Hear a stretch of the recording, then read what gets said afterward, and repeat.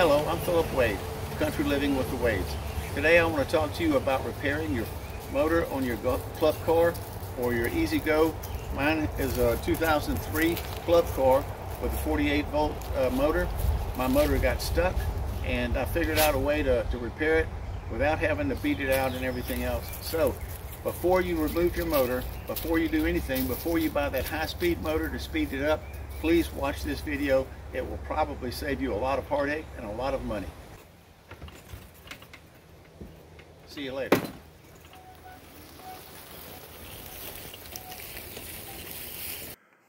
Okay, this is going to be a real problem. My armature is stuck in the transaxle right there. It will not come out. I've tried spraying liquid wrench and other products on there. I've let them set for several days. I've uh, tried everything that I know without damaging this to, to break it loose and get it out. Now I have to figure out something better. As it is, I've already broken the bearing retainer uh, trying to take the motor off. Uh, the bearing is a press fit onto this part and the bearing retainer holds it tight into the end bell. You can see my retainer uh, is broken, my bearing retainer. It's broken right where the screws go. I've just sort of set it in place. You see the little fingers that come and touch the bearing? That's just to touch the outside bearing, not to touch the uh, seal anywhere. And I think the biggest reason for that is you get so much uh, carbon um, particles coming off the brushes as they wear down that you could actually get something in there and start to break the seal open cause the bearing to go out early.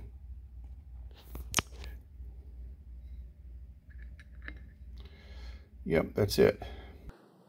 All right, I found the breakdown from my motor. This is my motor. It's uh, whatever this model number is here. Uh, and this is, happens to be online at uh, Golf uh, Cart Parts Direct. Uh, the motor part number right here was actually uh, on the label on the motor itself, so I was positive this is what I had.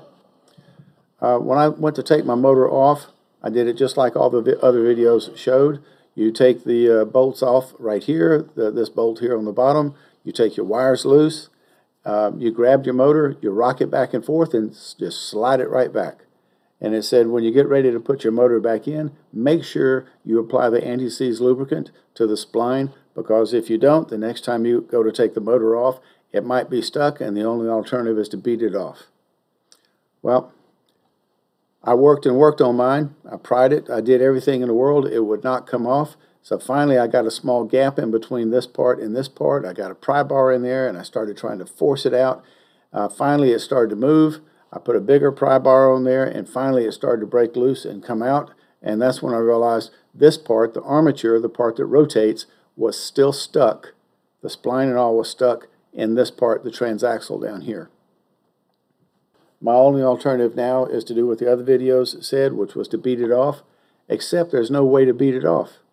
There's, you, you can't open this up and access the end of this to drive it off or anything like that. The only thing is, is you would have to take this full assembly apart and hopefully then you would be able to uh, get something to be able to drive it out.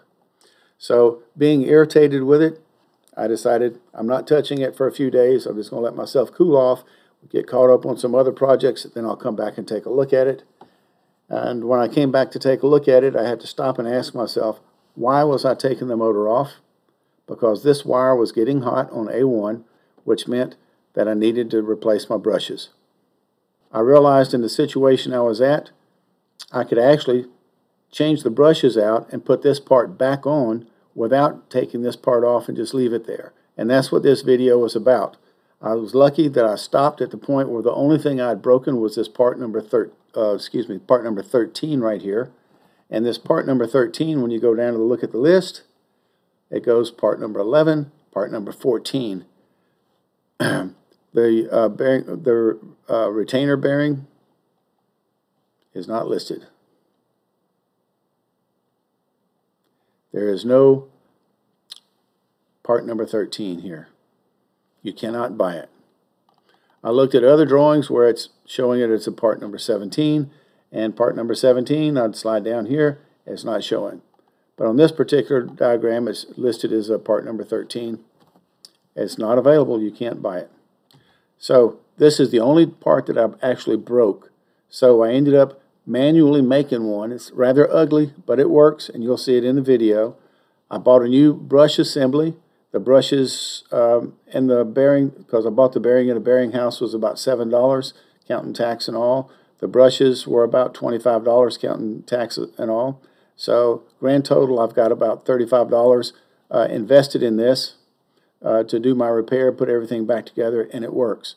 Please follow the video and see uh, what I did uh, to repair it and how, if that, if you come into this kind of problem, how you can stop before you break everything up and tear something up uh, and uh, go ahead and change out your brushes. As long as your commutator is in pretty good shape, then you don't have any problem at all. Change out your brushes, put everything back together, and go about your business. This is a piece I'm making in here. It's I know it's really, really ugly right now, and it's going to stay ugly. Um, my holes will be lined up about, about like this. I'll trim it back to where it's just touching just the uh, bearing outer ring. Okay, I took those little burrs off, most of the burrs. There's a little burr right there. I wanted to make sure I had it sitting flat and I didn't want any of the burrs from when I was uh, grinding the outside edges off there, rounding that up a little bit on the grinder to keep it from sitting flat. So I'm to put a screw back in. So I'll get this screw started. Maybe a little bit easier said than done here. Oh, no problem. Starts right in there.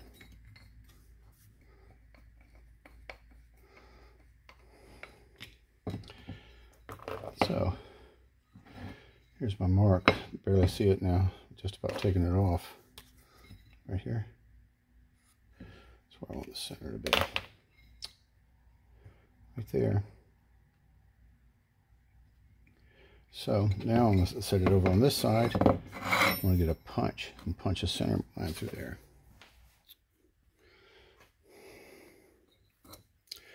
I couldn't find a punch the right size.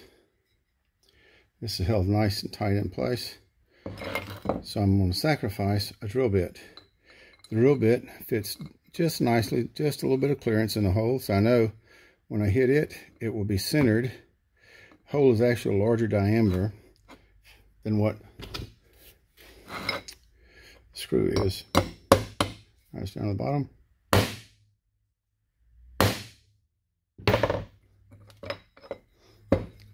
Let's see what we got here. Get you out.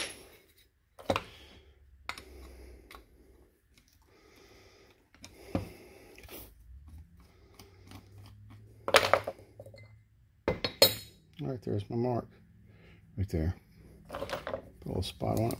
A magic marker. I mean with a Sharpie. Now I'll take it over the drill press. And I'll drill that hole. And I'll tap it. Alright, I've drilled and tapped both holes now.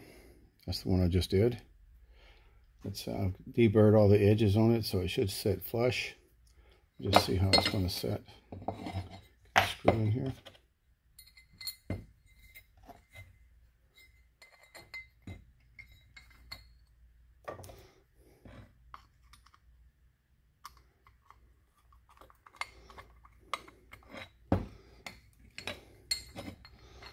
one started. Let me get the other one started.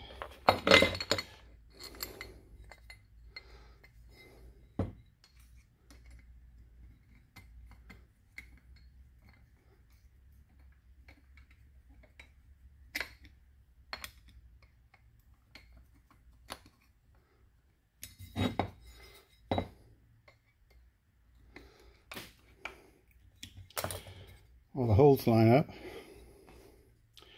pretty well. I don't have a bearing in there right now. So let me take it out and uh, put the bearing in. The, uh, this is the used bearing, by the way. I haven't uh, put the new one in. Let me get the new one. Here's the new one. That's what type it is right there. Can you see it?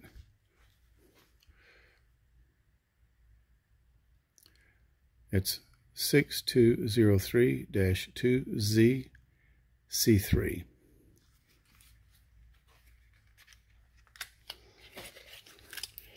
I think I paid uh, $7 for the new bearing at a local bearing supply house.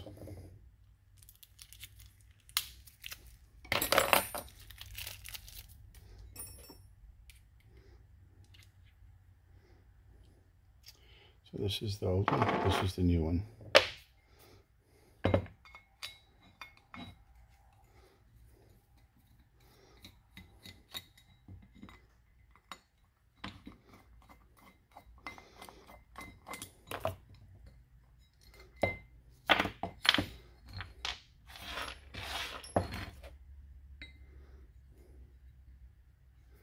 Bearing should just tap in.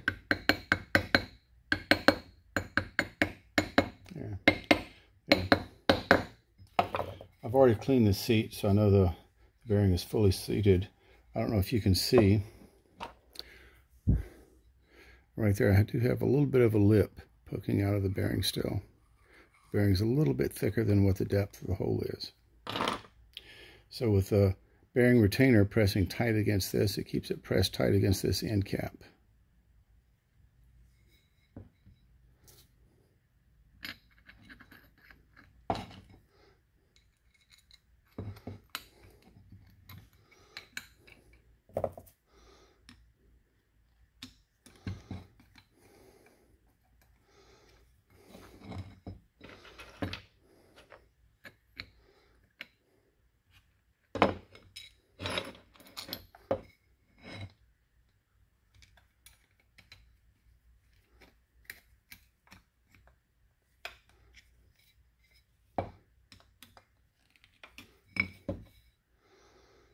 Okay. I'll examine it. I'm pressing against the end racing here. I'm not touching the, the seal anywhere. So all my force is just on the outer racing. This is a little bit larger than the original piece. Put the original piece on top so you can see.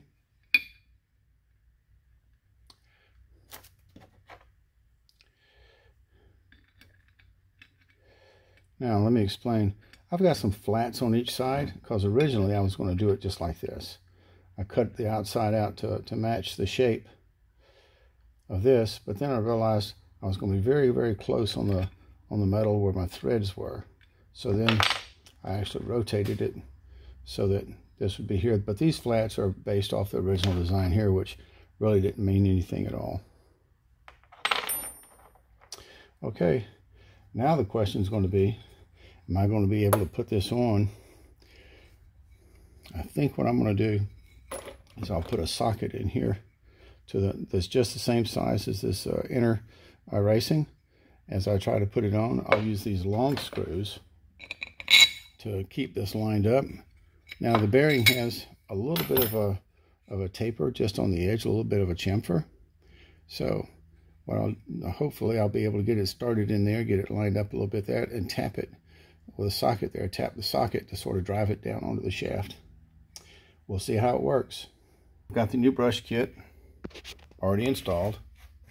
I just bought the brushes. I didn't buy this part right here, just the brush, just the brushes, and they come up with the wires and the and the studs already attached. So the object is to get this back up on this, get the bolts in on that end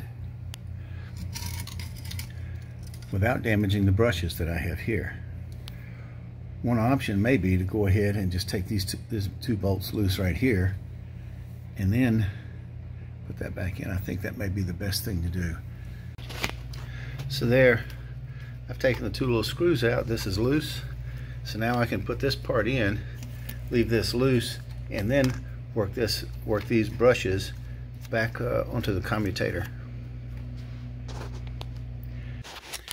All right, so I was able to put that back in, get the, get the uh, three screws, uh, 7 16 screws back in, 7 16 head, and get the other the half inch head down here in the bottom. Now, to do this, you have to bring it in over the springs and it just slides right in, especially if you have all this loose right here. Now I've got to put all this back in uh, so that these go over the commutator.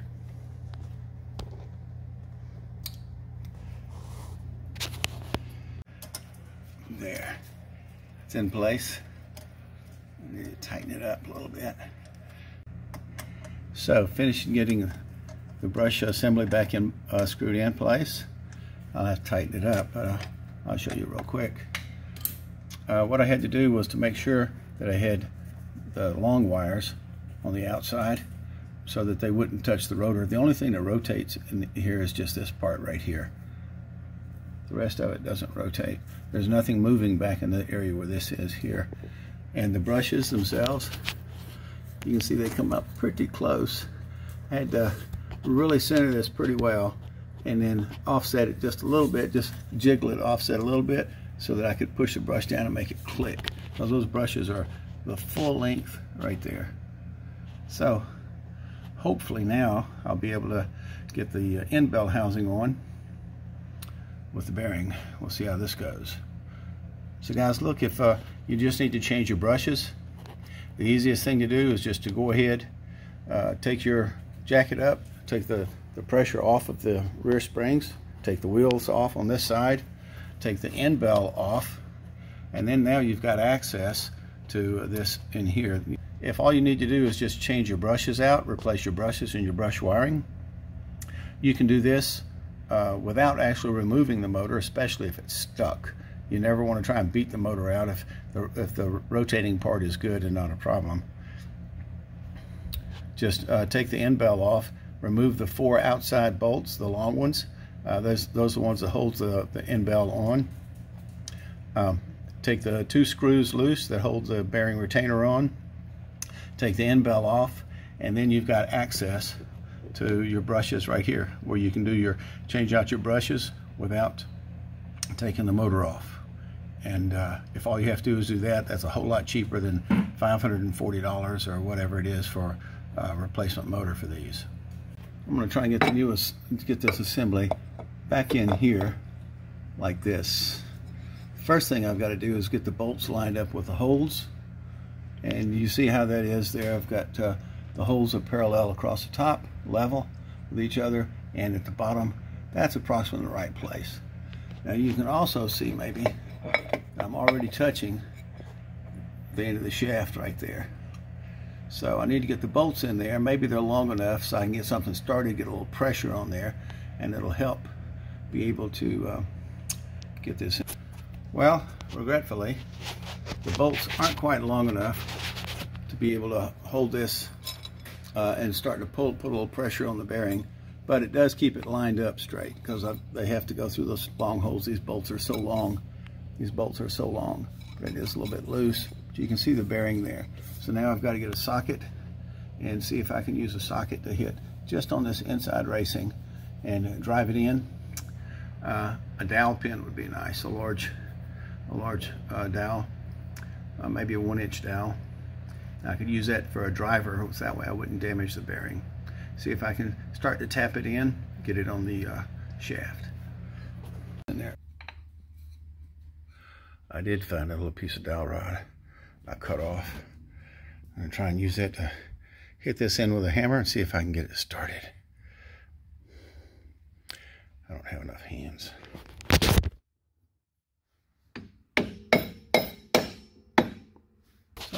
Five or six taps, it is starting to go in. And it feels like it's going in pretty straight. I'm not hitting it hard at all, but I am having to be you know, solid with it. All right, yeah, it's definitely on the bearing shaft now. I mean, the bearing's definitely on the shaft now because everything's getting more solid. It's not, oh, that screw is trying to go in a little bit. Maybe this one too, let's see, that one, a little.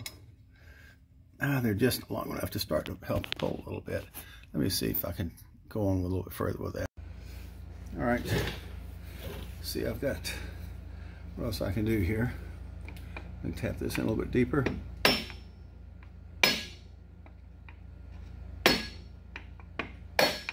It's going on, that's the good part. I was able to get the screws started. I don't have any pressure on them right now.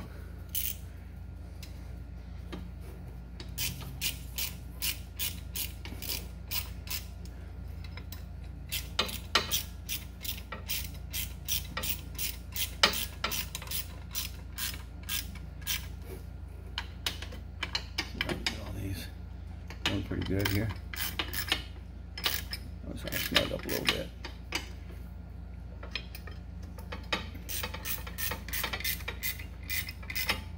Okay, so these are starting to snug up just a little bit.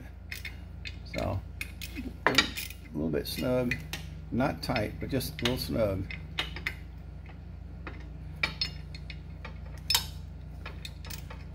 I hear a little pop in there. I know that it shifted just a little bit. Oh yeah, hear that little pop? Let's see if I can, where you can hear it here. There, that little pop. That's the bearing slipping forward. And the shaft coming on down a little bit tighter. Another one, yep. Try to do opposites just a little bit on each one as you go around. This works just like a press, just like I'm pressing the bearing on the on the shaft.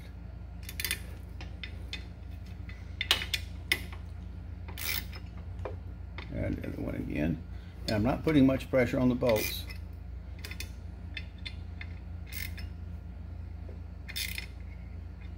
See, it's coming on down. I still have a little bit of a gap there.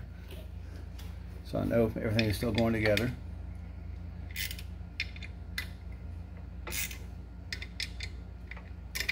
See I'm not doing much of a rotation here at all. Let me take this little extension out. Might make life a little easier here. Come on, get on there.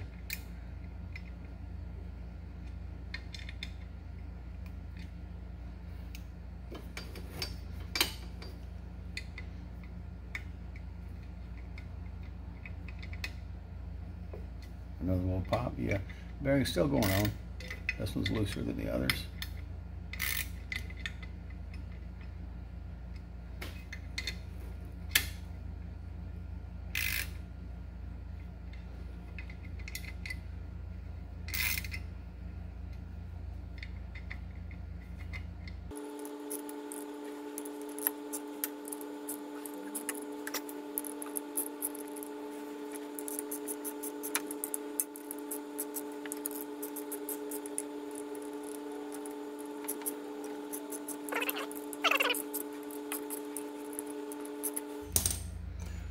Tapping again.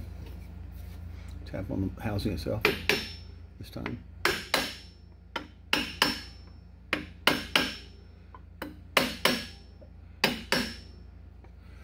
Yeah, you can see the shaft is now a little bit this side of the bearing, so it's the shaft, the end of the shaft has come all the way through.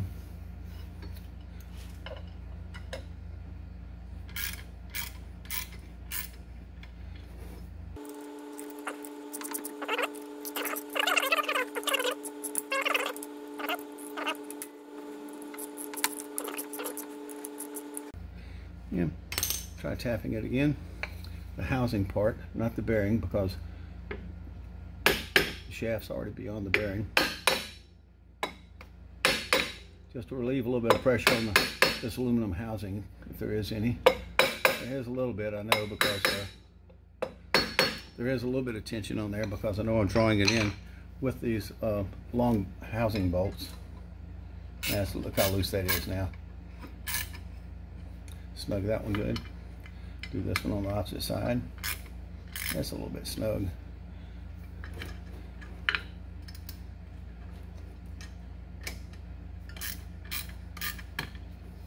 And the bottom one down here, see what it's like. Oh, it's very loose. Yeah, I'm down to maybe an eighth of an inch gap. So, go ahead and finish this out. Tap it in again.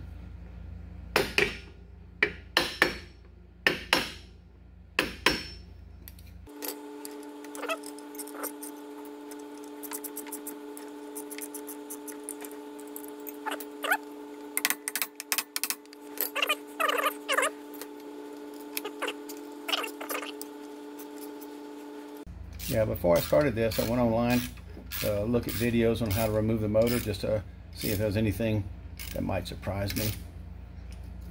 I didn't really see anything. And I did it, you know, just like it said. The first thing I did was I put it in tow. I disconnected the batteries and I disconnected the uh, wires. Uh, then I removed the uh, speed indicator. Okay, so it's ready to tap again. Still have a little bit of a gap there.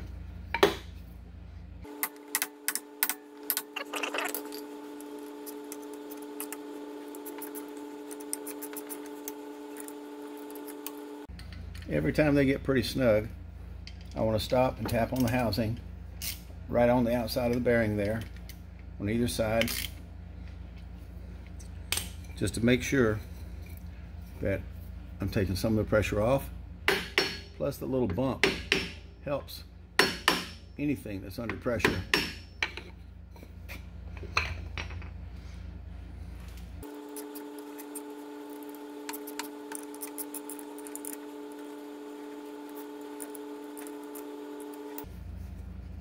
Oh, the gap, I can barely get my fingernails in the gap now, so it's really doing real well. Pop it again.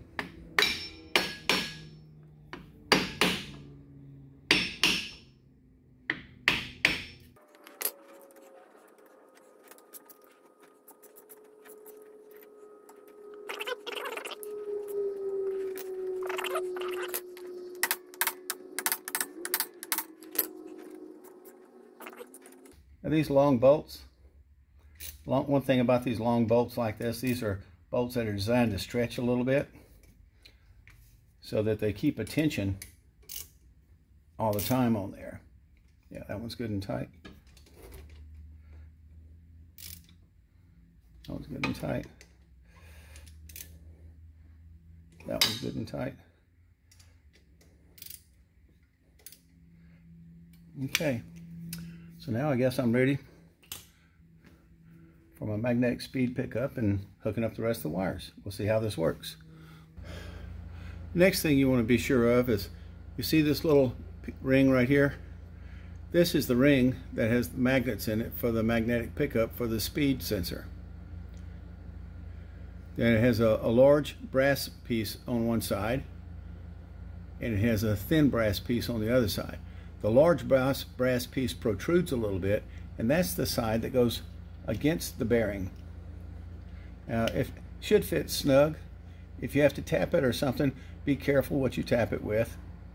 Make sure that it goes on there good. see if I've got something I can tap this with here. Just slightly tap.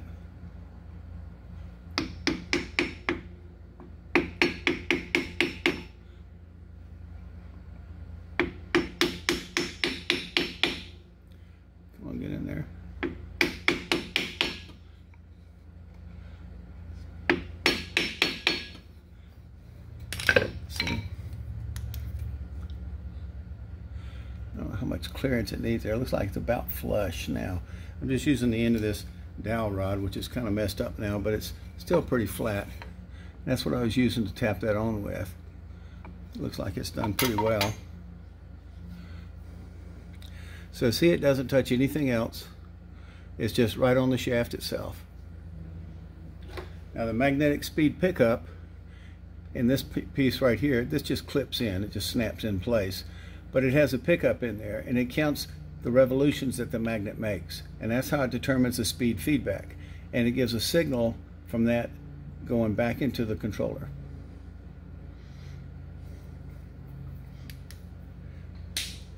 So uh, it only goes in one way.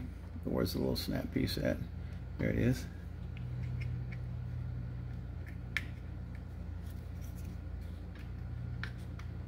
There, it just pushes in. It goes completely in. That's it. That's all there is to it. And I think there was some kind of little clip here um, to hold uh, the wires. I'll have to see if I find it. Hopefully I didn't lose it somewhere in all this mess. But anyway, guys, if this works, this saves me about uh, $550 just if I could have gotten the motor out by itself and replaced it. Uh, the other thing is, if I had to uh, manually, some kind of way, beat uh, the uh, rotor out of the transaxle section, it probably would not have come out and I would have been looking at replacing the entire transaxle. I hope you enjoyed this video. I hope it's informative to you because uh, if it works, it saved me a lot of money.